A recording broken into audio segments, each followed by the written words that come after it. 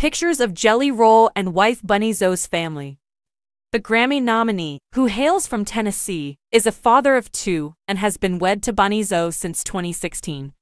Many people were moved by Jelly Roll's passionate acceptance speech after he, 39, took home the new Artist of the Year title at the 2023 CMA Awards.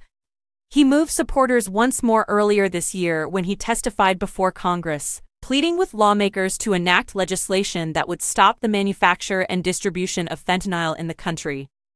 However, when the country rapper, singer, and songwriter real name Jason Bradley DeFord isn't blowing up social media with his impassioned statements or packing houses with his newest singles, he's spending time with his family, which includes his wife Bunnie XO, son Noah, 7, and daughter Bailey Ann, 15. View some of the most adorable pictures of the Grammy nominee with his close-knit family here. The singer-songwriter shared this sweet picture of himself and daughter Bailey Ann holding a baby Noah in August of 2016. Bailey Ann, who seemed very comfortable on stage with her rock star dad back in 2019, proved that the musical apple doesn't fall too far from the tree. It's been a dream come true this past weekend. Show after sold out show has been hosted by us.